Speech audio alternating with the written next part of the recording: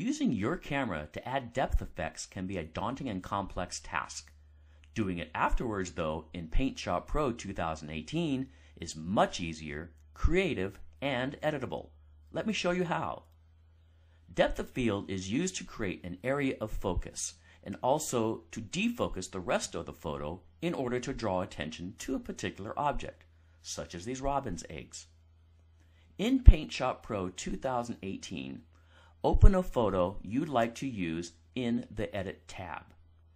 This photo is a great candidate for depth of field.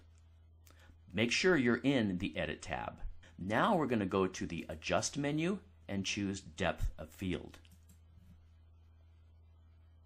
Here we see a before window and an after window. Right now, both images look exactly the same. Over on the right is our collection of depth of field tools.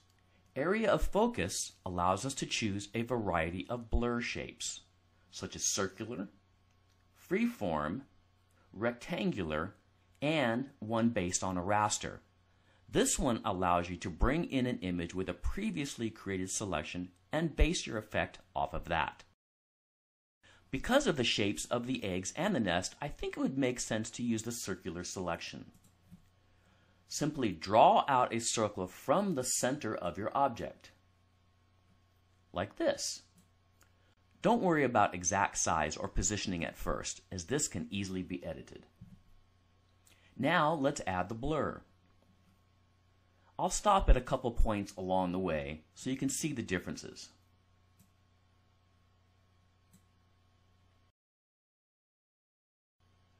The blur tool will make everything outside the selection blurry.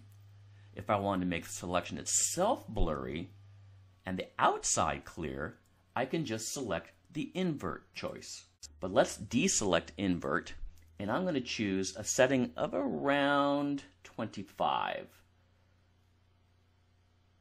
In order to make the blur versus clear transition appear more gradual, we'll use the feather edge slider. I think a setting about halfway should be fine. Lastly, the focus range is used to adjust the amount of blur in the area that is not selected. As you can see, the background gets clearer as I move the slider to the right.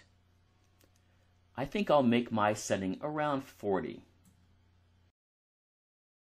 Once you're pleased with your choices, click OK to return to the main window and view your results.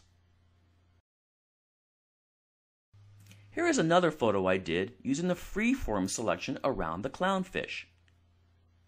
Hope you found this easy but effective feature useful enough for you to try it out yourself.